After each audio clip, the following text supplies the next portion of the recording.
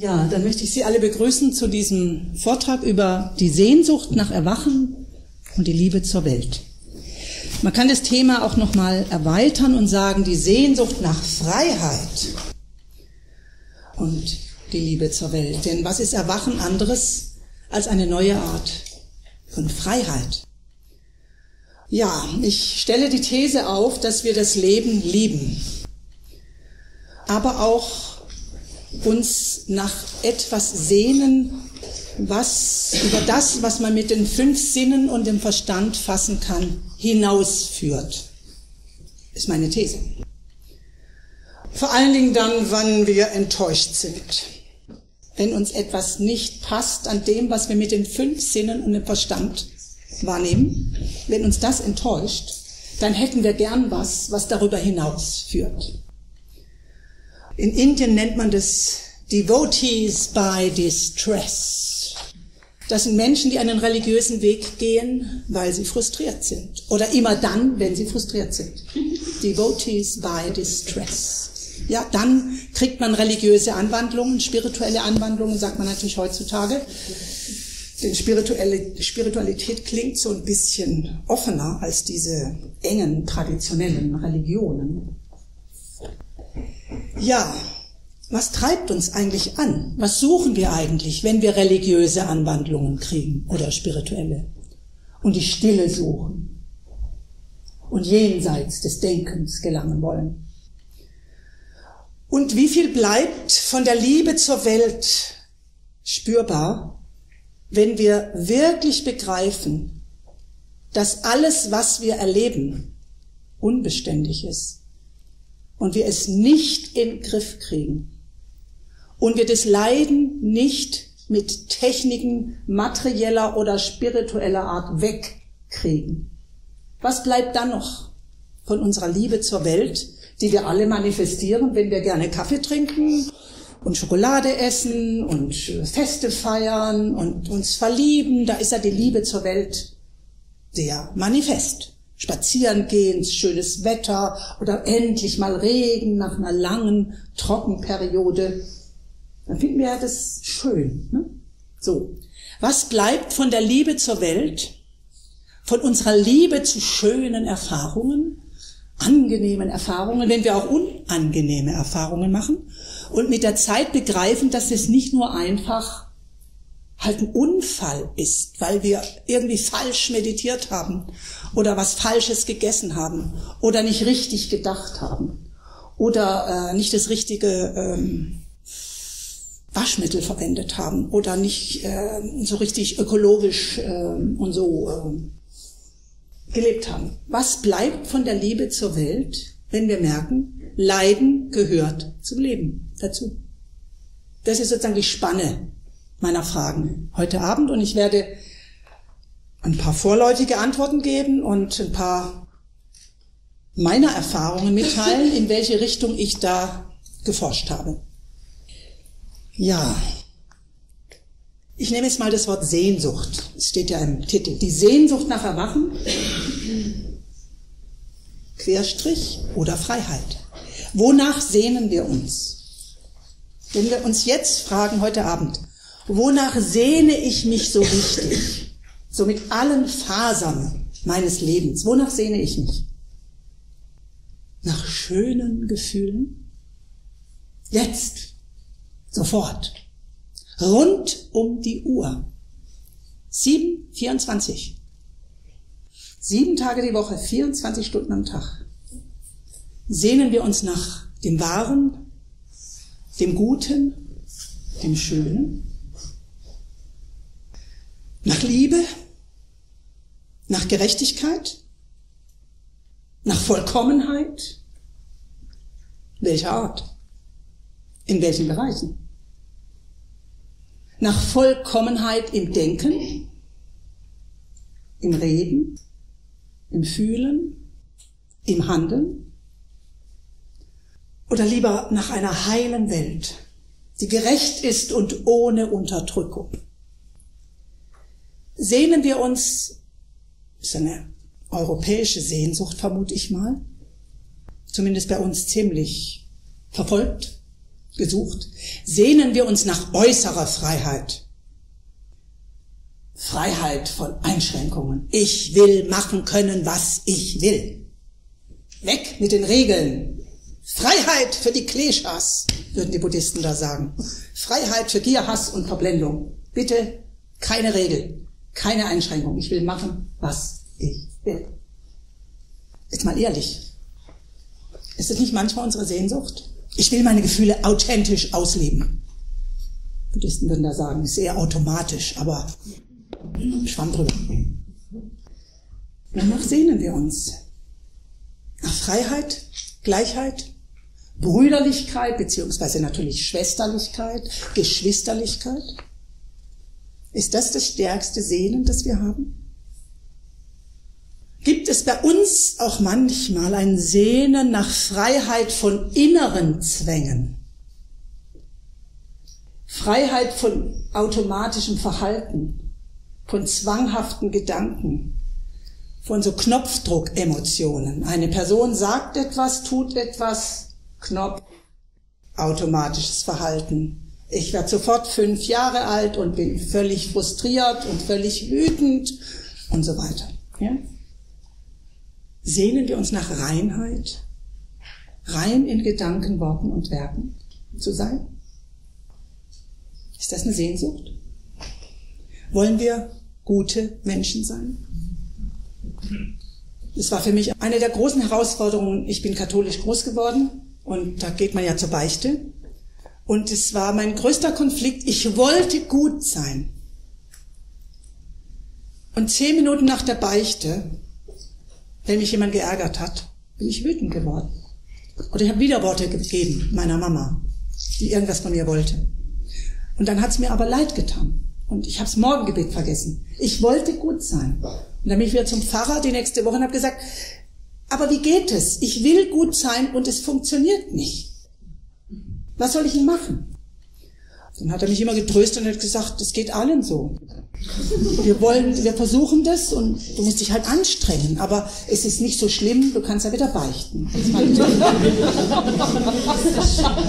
Also für mich als Kind war das erlösend, weil ich ja gemerkt habe, ich schaffe es nicht. Ich konnte das, was ich wollte, nicht wirklich umsetzen. Und mit der Frage bin ich letztlich bei den Buddhisten gelandet. Wie geht es, ein guter Mensch sein? Ein guter Mensch sein? Ja, wer wäre es nicht gerne? Hat mal einer gedichtet. Ja, Sehnsucht nach Erwachen, Sehnsucht nach Freiheit. Ich spitze es nochmal zu. Wovon wollen wir frei sein? Äußere Zwänge, innere Zwänge? Und zwar jetzt nicht theoretisch, sondern wir können das eigene Leben angucken. Wenn wir leiden, so zwischendurch mal, soll ja vorkommen, Worunter leiden wir dann? Unter äußeren Zwängen, unter Pflichten, Anforderungen, Ansprüchen, Zeitrahmen, Umweltbedingungen, menschlichen Konstellationen? Also leiden wir unter äußeren Zwängen? Wovon wollen wir frei sein? Wollen wir von inneren Zwängen frei sein? Das mal aufschreiben, das ist spannend. Ganz konkret. Und dann ist die Frage, ja und, wenn wir dann frei sind, wofür? Was wollen wir da machen? Wenn wir frei sind von Gier, Hass und Verblendung, frei sind von allen Zwängen, niemand sagt uns was. Ich meine, die meisten von uns sind ziemlich erwachsen. Also eigentlich kann uns niemand mehr vorschreiben, wann wir aufstehen sollen und was wir den ganzen Tag machen sollen. Vor allen Dingen an unseren freien Tagen, in unserem Urlaub. Unter welchen Zwängen stehen wir denn dann? Wenn wir dann nicht das machen, was wir eigentlich wollen. So theoretisch auf unserer politisch korrekten, ich meine buddhistisch korrekten Prioritätenliste. Das ist eine Liste für viele, spirituell korrekte Prioritätenliste. Gedichte lesen, sanft sein, entspannt, heilsam handeln, heilsam denken, heilsam reden. Ja, was steht auf unserer spirituellen Prioritätenliste? Und was machen wir tatsächlich, wenn wir frei haben? Spannende Frage. Ich meine, es könnte natürlich sein, dass wir das erst erkennen können, was wir dann machen wollen, wenn wir frei sind von äußeren und inneren Zwängen. Aber das sind wir ja. Ja, was machen wir in der Zwischenzeit? Entdecken wir das unterwegs, auf dem Weg zur Freiheit von äußeren und vielleicht auch inneren Zwängen? Schon mal eine ganze Menge Fragen. Und ich kann sehr empfehlen, darüber mal ein bisschen nachzudenken. Wir werden das am Übungstag in geführten Übungen auch machen, einzelne Aspekte genauer angucken. Aber das kann man auch zu Hause mit dem Tagebuch machen. Wovon will ich frei werden? Wofür will ich frei werden? Von welchen äußeren Zwängen will ich frei werden? Von welchen inneren Zwängen will ich frei werden? Ja, dann der zweite große Komplex, die Liebe zur Welt. Also ich gehe doch mal davon aus, dass wir alle irgendwie das Leben lieben, sonst wären wir wahrscheinlich nicht mehr lebendig. Was lieben wir an der Welt? Was lieben wir an der Welt? Die Natur? Den Frühling? Oder den Sommer? Oder den Herbst und Winter? Lieben wir das Auf und Ab der Gefühle? Oder nur die schönen Gefühle? Lieben wir die Begegnung mit anderen Menschen, mit ihrem Auf und Ab und hin und her, mit ihren Dramen und paradiesischen Momenten? Vielleicht die paradiesischen Momente, ja, die Dramen nicht, obwohl ich kenne auch Leute, die lieben die Dramen. Und wenn es kein Drama gibt, dann finden sie eine Beziehung langweilig. Kurze These am Anfang, mal dazwischen geschoben. Leben in der Welt heißt Leiden annehmen und Glück genießen und das Beste daraus machen. Also kleine These am Anfang. Ja, jetzt habe ich mich in der westlichen Tradition ein bisschen umgeguckt, was wir so für Träume haben.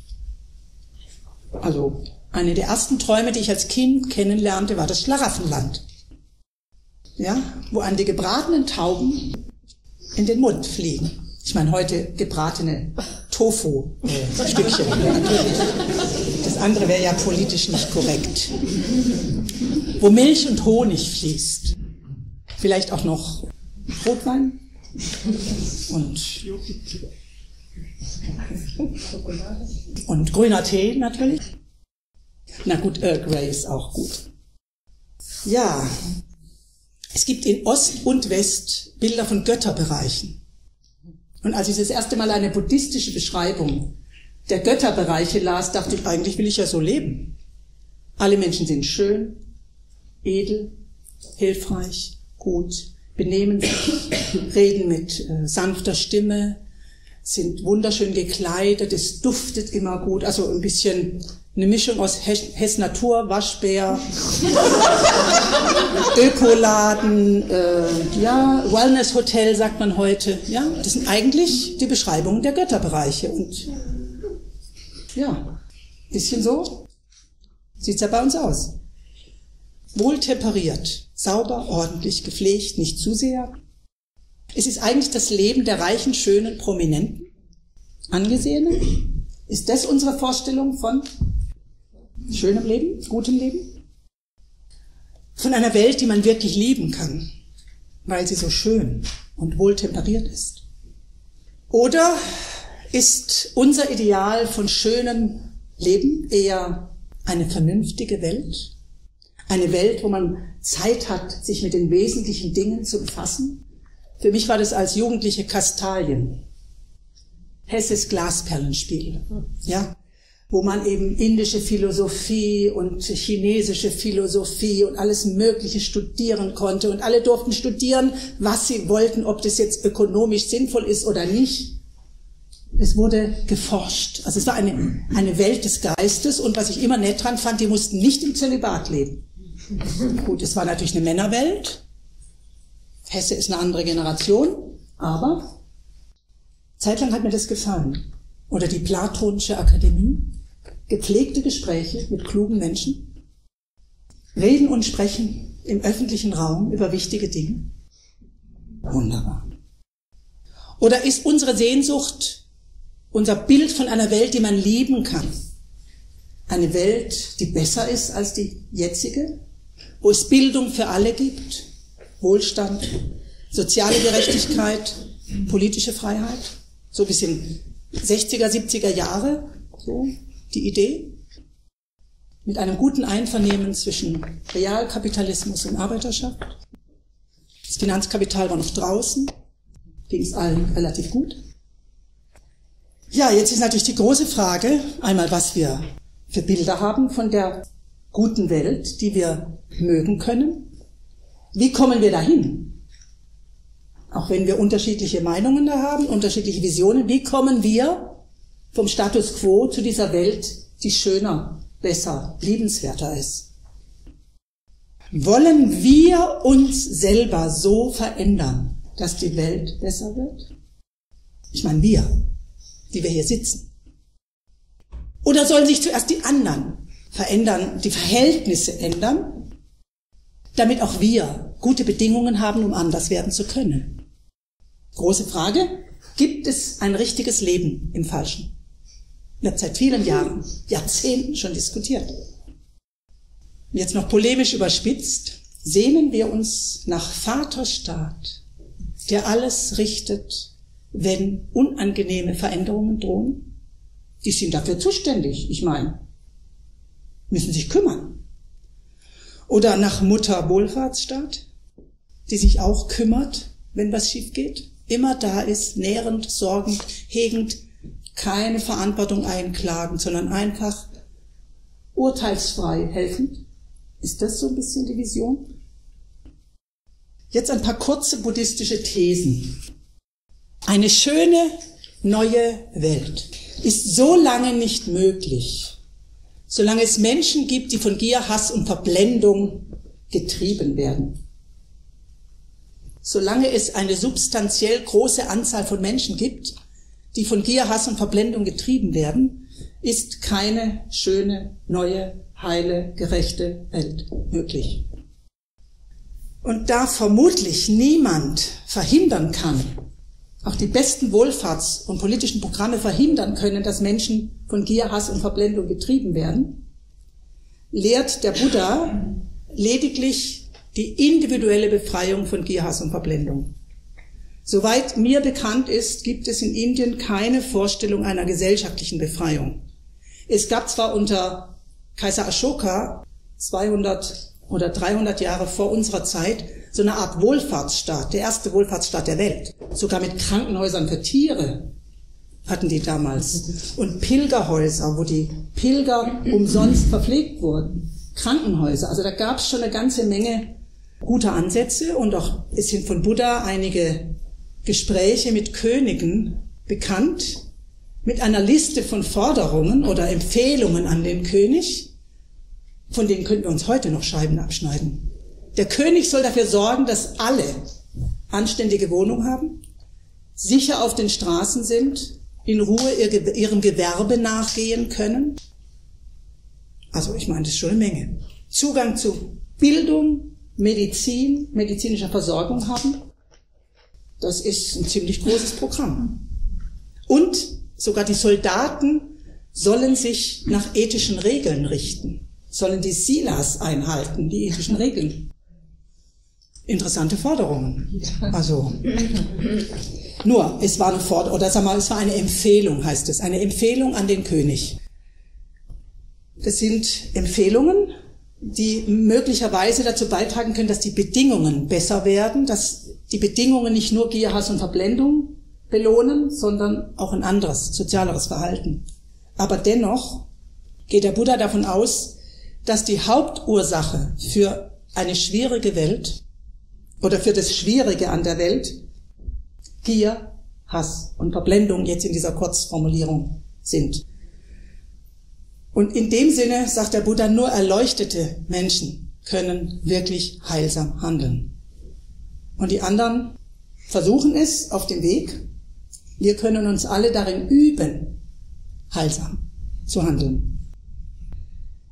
Ja, und in der Mahayana-Vision der Bodhisattvas sehe ich da was verkörpert.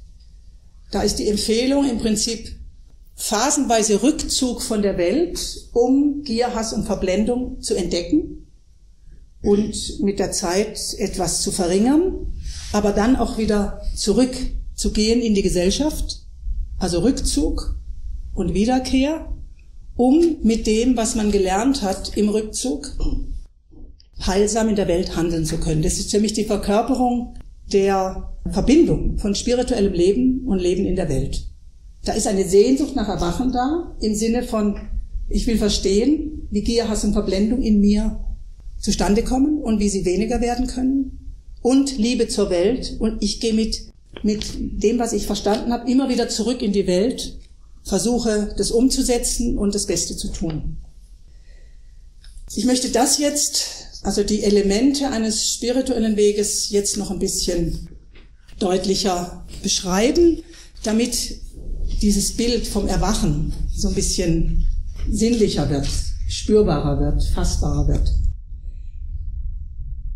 Vor drei Jahren war seine Heiligkeit der Dalai Lama hier in Hamburg und hat in der Beantwortung einer Frage am Sonntagnachmittag für mich den buddhistischen Weg nochmal so auf den Punkt gebracht, wie, es, wie ich es vorher in der Prägnanz noch nie gehört hatte. Er wurde nämlich gefragt, wie man Ethik in der Welt leben kann. Dann hat er gesagt, für mich gibt es drei Arten von Ethik. Es gibt die natürliche Ethik oder auch, Dalai Lama sagt, ich nenne sie die säkulare Ethik. Und dann hat er das erklärt und für mich passen seine Erklärungen zu dem, was wir die goldene Regel nennen. Was du nicht willst, dass man dir tu, das füge keinem anderen zu in der positiven Formulierung der Buddhisten, und was du willst, dass man dir tu, das füge auch den anderen zu. Da ist schon ein, Gesellschaftsprogramm drin. Was du willst, dass man dir tu, das füge auch den anderen zu. Und dann hat er gesagt, und dafür braucht man keine Religion. Das lernt man, wenn man mit Menschen zusammenlebt. Und deswegen finden wir auch die goldene Regel in allen Kulturen. Ich war vor kurzem in Berlin im Park der Weltreligionen und da steht eine große Konfuzius-Statue. Und auf dem Sockel stand, was du nicht willst, dass man dir tut, das füge keinem anderen zu, drunter Konfuzius. Ich habe es aber auch schon gehört, dass es Hillel zugeschrieben wird, einem jüdischen äh, Propheten. Ich kenne es als Aussage, ich glaube, es ist im Lukas-Evangelium von Jesus. Steht auch drin. Ich kenne es vom Inhalt her, auch von den Buddhisten, und ich kenne es natürlich als deutsches Sprichwort. Was du nicht willst, dass man dir tut, das füge keinem anderen zu. Das ist die Negativvariante, das ist schon mal gut. Man versucht erstmal den Schaden zu begrenzen und dann aber die positive Formulierung, die haut mich immer wieder aus den Schuhen. Und was du willst, dass man dir tut, das füge auch den anderen zu. Also statt zu jammern, die Leute sehen mich nicht, meine Qualitäten werden nicht gewürdigt, und so weiter. Wenn man das gerne möchte, dann sollte man andere Leute würdigen. Man sollte andere Leute wertschätzen. Ja, wenn man, die Leute reden immer so unfreundlich zu mir, ich will, dass die netter sind, ja, dann fang an, freundlich zu reden. Ich finde es eine sehr interessante Art der Ethik. Sehr schön finde ich dran, dazu braucht man keine Religion. Das lernt man, wenn man mit Menschen zusammenlebt. Ziemlich gut. Das ist letztlich das, was der Kantsche Imperativ sagt. Ja, man handelt so, dass man daraus ein Gesetz ableiten könnte. Eine Regel für alle ableiten könnte. Und in dieser wunderschönen Interpretation meiner Lieblingsphilosophie des kategorischen Imperativs, Hannah Arendt sagt in ihren Kant-Vorlesungen, das bedeutet schlicht, ich stimme der Regel zu, du sollst nicht stehlen, weil ich nicht will, dass das Gegenteil Gesetz ist. Und selbst ein professioneller Autodieb ist nicht begeistert, wenn er in einem Restaurant sitzt und jemand klaut seinen Mantel. Oder bei ihm wird eingebrochen in der Wohnung. Da geht er auch zur Polizei, wenn er sich traut. Und sagt, bei mir wurde eingebrochen. Das ist doch eine Unverschämtheit. Selbst wenn er professionell klaut. Also das kann man merken und ich habe dann mal für mich selber eine Liste zusammengestellt. Welche Handlungen will ich gerne vermeiden, weil ich nicht will, dass das Gegenteil Gesetz ist. Und daran merkt man zum Beispiel, und das habe ich auch bei Kant gelernt, es gibt Regeln und ich weiß, das ist die Regel und ich halte sie im Prinzip auch für gut, aber ich mache individuelle Ausnahmen. Also ich finde es im Prinzip gut, wenn nicht gestohlen wird. Aber ich meine, da gibt es so, ich meine, Kugelschreiber, kostenfreie Telefonate auf auf dem Diensttelefon oder kostenloses Surfen im Internet während der Arbeitszeit und so. Es gibt ja so Sachen, wo man, ja, nicht so klar ist, ist es nur richtig? Also eigentlich weiß man, es ist nicht richtig, aber man macht es trotzdem. Und das ist sozusagen, so lange ist die goldene Regel unsere Orientierung, solange wir merken, wir verletzen eine Regel, wenn wir individuell dagegen verstoßen. Und buddhistisch interpretiert wäre das, wir kennen die Ethik und aus Gier, Hass oder Verblendung verstoßen wir dagegen. Aber wir wissen, es ist falsch. Das Problem fängt an. Wenn man keinen inneren Maßstab mehr hat, kein Gewissen, jetzt nicht als Über-Ich verstanden, sondern als inneres Gefühl für die goldene Regel. Wenn ich nicht mehr merke, dass ich gegen tiefe menschliche Regeln verstoße. Ich sage, ich meine, wir teilen einfach das Eigentum um. Ich nehme mir was, was ich haben will. Ist sowieso alles ungerecht, diese Gesellschaft, ja? Ich nehme mir einfach, was ich will. Finde ich eine sehr spannende Geschichte. Und wir können uns fragen, wollen wir diese natürliche Ethik? Stehen wir dazu? Finden wir das gut? Wollen wir uns danach verhalten? Und führt es dazu, dass die Welt besser wird? Ich glaube schon. Also ich glaube, wenn die Menschen, wenn wir, also wenn viele von uns sich ethisch verhalten, verändert sich die Welt. Und ich kenne Leute, die haben irgendwann angefangen, in ihrem Arbeitsbereich die ethischen Regeln der rechten Rede, der heilsamen Rede zu befolgen, solche nicht mehr schlecht über andere hinter ihrem Rücken zu reden, nicht mehr zu klatschen und zu tratschen. Und also ich habe es von einer Krankenschwester gehört und von einem Freund, der ist Rechtsanwalt. Der, der Rechtsanwalt hat gesagt, nach drei Monaten sagten meine Kollegen zu mir, meine Kolleginnen, sag mal, irgendwie verhältst du dich anders. Irgendwas ist anders. Was machst du eigentlich? Es ist irgendwie angenehmer in deiner Gegenwart. Und dann hat er ihm gesagt, ich versuche nicht schlecht über andere zu reden. Und eine Krankenschwester hat mir das erzählt, halt in diesem Zimmer, wo sich das Team immer trifft, wird natürlich viel getratscht. Und sie hat einfach nicht getratscht. Und nach zwei Jahren sagt sie, kommt bei einer Diskussion eine Kollegin auf mich zu und sagt, ich weiß ja, dass du nicht über andere Leute schlecht redest, aber könntest du mal sagen, was du von dieser Situation hältst? Du hast bestimmt einen guten Blick dafür. Hat zwei Jahre gedauert, bis es ankam, aber es wurde gemerkt. Es wurde zur Kenntnis genommen. Und ich denke, da waren dann zehn, zwölf Leute beeinflusst. Und ich glaube, dass das eine ganz große Kraft der Gesellschaftsveränderung ist, dass wir Menschen anstecken können mit unserem heilsamen Verhalten. Mit dem Vermeiden von Unheilsamen und mit, dem aktiv, mit der aktiven Praxis von heilsamem Verhalten. Das hat einen unglaublich ansteckenden Effekt, weil sich Menschen dann wohler fühlen in unserer Gegenwart, weniger bedroht. Und wenn sich Menschen weniger bedroht fühlen, haben sie mehr Spielraum, sich heilsam zu verhalten. Wenn Menschen Angst haben, unter Druck stehen, fallen sie eher auf Gier, Hass und Verblendung zurück. Also das hat mehrfachen Effekt. Wir sind Vorbilder, wir sind Quelle von Inspiration, wir verbreiten eine gute Atmosphäre um uns herum und das entspannt andere Menschen und dann können sie auch, haben sie einfach mehr Verhaltensoptionen. Sie sind eher offen für neues Verhalten und rekredieren nicht immer auf das Niveau von zehn oder acht oder fünfjährigen. Was wir leider tun, wenn wir unter Stress stehen. Und das ist für mich ein Grund, warum die Situation heutzutage so ist, wie sie ist. Mehr Druck bringt uns dazu, auf alte Muster zurückzufallen. So, die zweite Ethik ist die Ethik der Befreiung und die dritte Ethik die Ethik des vollständigen Erwachens. Ethik der Befreiung bedeutet, wir erkennen dass die Ursache der Probleme Gier, Hass und Verblendung in uns selber sind. Und die anderen Menschen und die Umstände sind Aufhänger, Auslöser. Die Gier, Hass und Verblendung jetzt mal als Standard, da kommt dann Neid und Eifersucht und Zweifel und Traurigkeit und was weiß ich was alles noch dazu. Auslösen.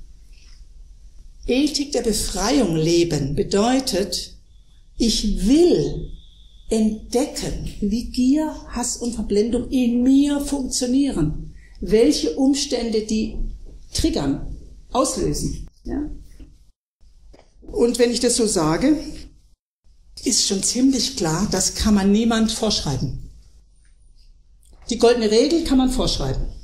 So kann man Menschen erziehen und die goldene Regel ist im Prinzip die Basis unseres Rechtssystems. Klar, da kann man sagen, und das machst du. Und stehlen ist nicht okay, das wird sanktioniert. Aber die zweite Ethik, Ethik der Befreiung, entdecken wollen, wie Gier, Hass und Verblendung in mir funktionieren. Es ist jetzt paradox, aber das muss man wollen. Das kann einem niemand vorschreiben. Im besten Falle können wir andere Menschen inspirieren, wenn wir ein gutes Vorbild sind. Aber das ist schon für diejenigen, die das wollen, schwer genug. Also ich versuche das seit über 30 Jahren. Und ich meine, blinde Flecke kommen einfach vor. Und immer wenn ich mich über jemand ärgere, denke ich, hallo, da muss irgendwo ein Haken sein bei mir. Woran hakt's jetzt? Und oft verstehe ich es gar nicht. Ich kapier's nicht. Manchmal kapiere ich's, manchmal kapiere ich's nicht. Nicht so einfach. Und ich glaube, deswegen ist die Welt auch nicht immer ein Ort, den man lieben kann, so aus voller Seele, aus ganzem Herzen, weil es halt Gier, Hass und Verblendung gibt. Und die buddhistische Argumentation ist, die Welt erscheint dir nicht liebenswert, weil in dir Gier, Hass und Verblendung ist. Eigentlich muss ich es anders sagen. Das darf ich nicht als Anspruch formulieren, sondern der Buddha sagt mir, ich erlebe die Welt als unangenehm, als unschön, weil in mir Gier, Hass und Verblendung wirken. Und nur so funktioniert es. Das funktioniert nicht als Anspruch an andere Leute. Es funktioniert einfach nicht. Ich meine, es ist nett, Sonntagsreden kann man machen, es klingt hübsch und äh, politisch korrekt und buddhistisch korrekt und überhaupt korrekt, aber es funktioniert nicht. Das funktioniert nur als Inspiration. Und selbst wenn man diese Inspiration empfangen hat und motiviert und Verblendung in sich zu erdenken, es ist schwer. Selbsterkenntnis ist mit das Schwerste, was es gibt. Ich glaube, das ist überhaupt das Schwerste. Und dann gibt es noch eine Steigerung. Drittens, die Ethik des vollständigen Erwachens zum Wohle aller Wesen. Und da hat der Dalai Lama gesagt, das bedeutet, alle Ansichten loslassen. Also ich würde es mal ein bisschen abschwächen und sagen, alle Ansichten durchschauen, alle Ansichten und Meinungen und Erwartungen und Urteile bemerken und dann nicht so krampfhaft daran festhalten. Und das ist echt. Postgraduiertenprogramm. Also, ich meine, Ansichten, ich meine, Ansichten als Ansichten erkennen. Solange ich an Ansichten über mich und andere festhalte, fühle ich mich in einer übertriebenen Weise getrennt von anderen. Und das Gefühl der übertriebenen Getrenntheit von anderen Menschen ist ein Konzept. Wir sind ja durch unendlich viele Dimensionen verbunden. In der Dimension, wo wir das fassen können, über Nahrung und Verkehr und Kleidung und Musik und Kultur und so weiter, biologisch natürlich auch. Das kann man ja verstehen. Aber nach allgemeiner spiritueller Auffassung noch in viel tieferen Dimensionen. Ob man das jetzt Buddha-Natur nennt oder göttlichen Urgrund oder wie auch immer man das nennen will. Alle Ansichten loslassen. Aber das ist der Weg zum vollständigen Erwachen. Und der Dalai Lama hat es so schön auf den Punkt gebracht und sagte, ähm, Gierhaus und Verblendung in sich zu erkennen, ist schwerer als das dritte. Alle Ansichten loslassen, das muss man nur einmal wirklich kapieren, dass jede Ansicht einfach eine Ansicht ist. Und ich habe das nachgeprüft in den folgenden Wochen nach dem Seminar mit Dalai Lama hier in Hamburg. Und ich habe gemerkt, manchmal hilft die erste Ebene der Ethik, nicht einfach an die ethischen Regeln halten, entspannt, nimmt Angst, nimmt Druck. Manchmal habe ich Gierhass und Verblendung in mir entdeckt und das hat dann auch den Druck weggenommen, weil ich den Zusammenhang verstanden habe, warum ich was ablehne im Außen, weil da in mir ein Knopf ist, weil da in mir ein ungelöstes Problem ist, weil da in mir ein Haken ist. Und die anderen haben natürlich auch Haken. Und dann verhaken wir uns. Und es tut weh. Und wenn man die Ansichten als Ansichten erkennt, dann werden aus den Haken Gummihaken. Die Haken bleiben, ist meine Erfahrung. Man wird kein anderer Mensch. Ich habe die gleiche Biografie wie vor der Meditation. Ich meine, die hat sich nicht verändert. Ich hatte die gleiche Mutterbeziehung, wie vor ich meditiert habe. Aber mein Bild dafür ist, zuerst hatte ich Metallhaken. Und wenn ich langsam kapiere, wie Ansichten Ansichten sind, dann werden diese Haken zu Gummihaken. Ich verhake mich immer noch, aber manchmal, wenn es einen Gummihaken erwischt, dann macht zu. Und dann ist das Problem nicht mehr so ein Problem. Ja, warum ich das heute vortrage, ist, die goldene Regel kann uns helfen, einigermaßen zivile Beziehungen zu anderen Menschen herzustellen.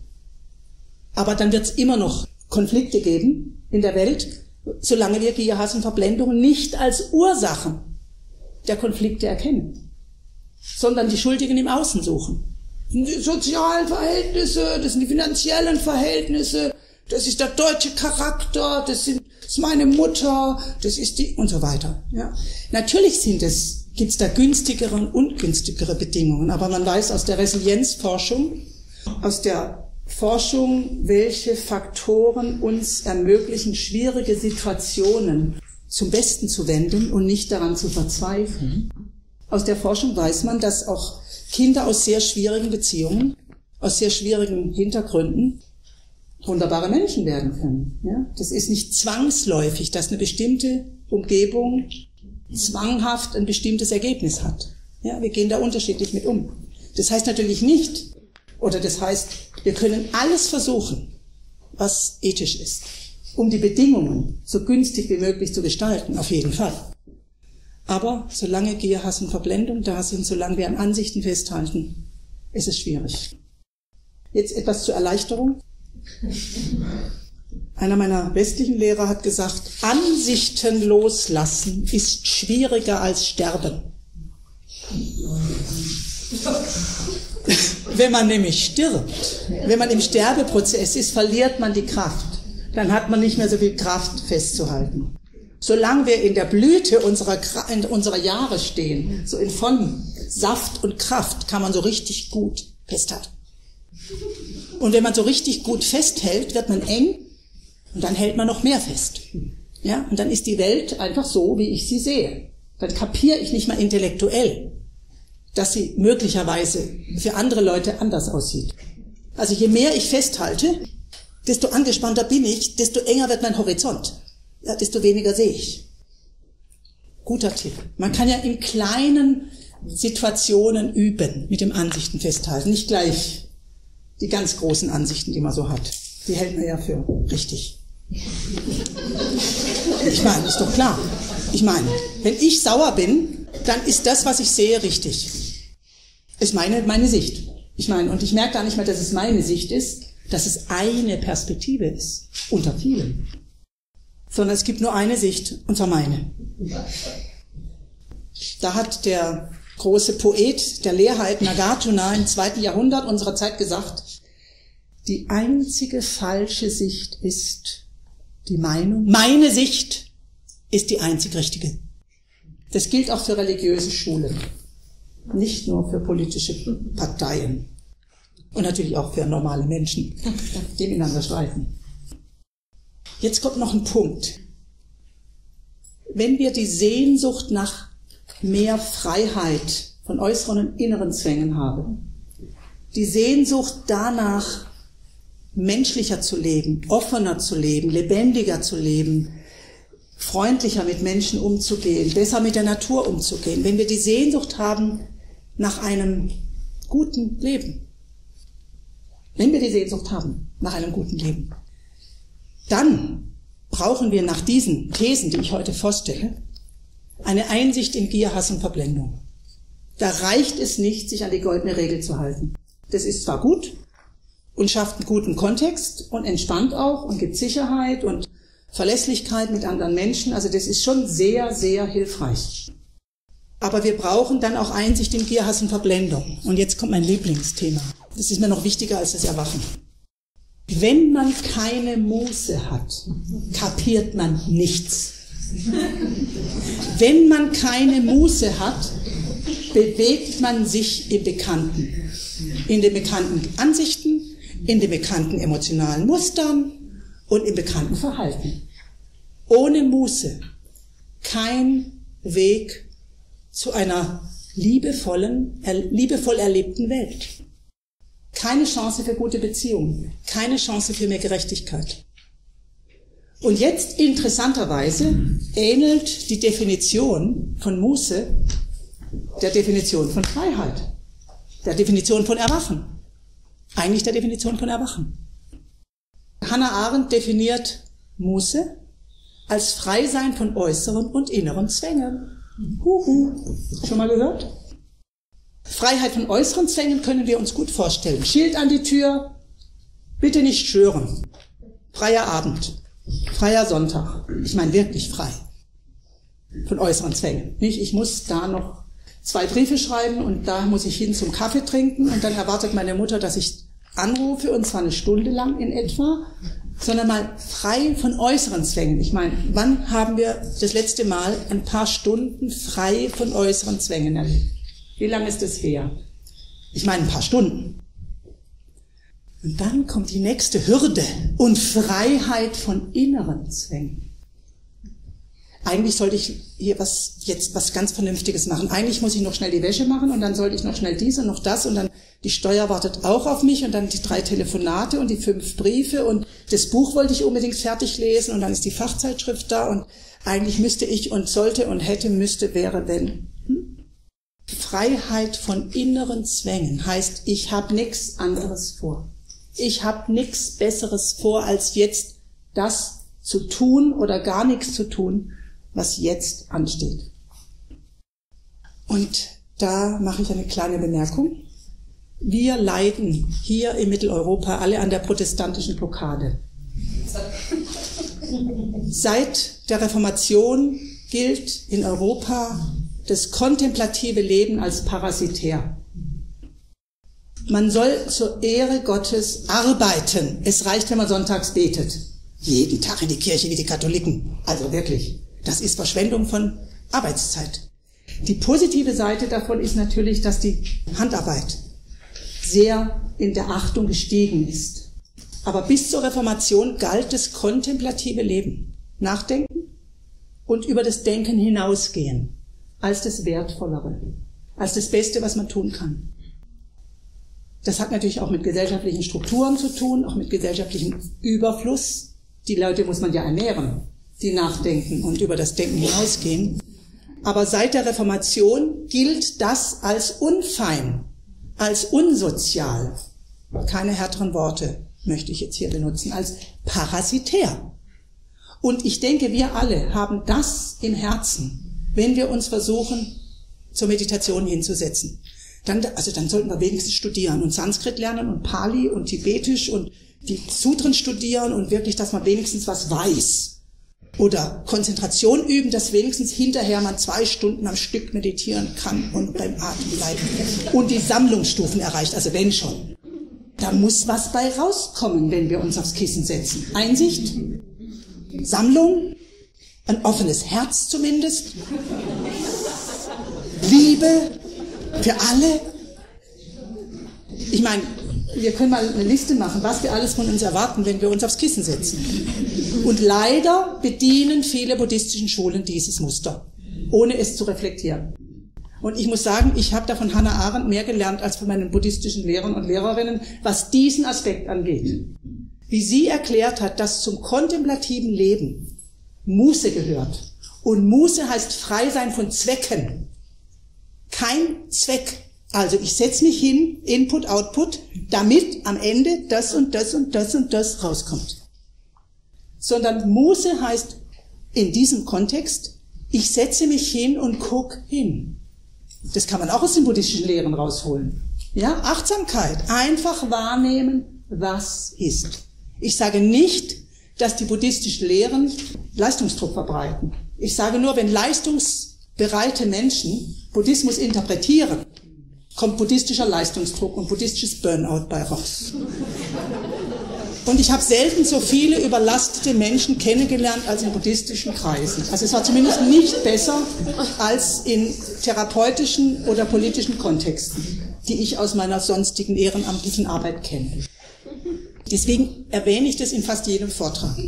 Weil ich denke, es ist unheimlich wichtig, dass wir unsere Leistungsmuster erkennen.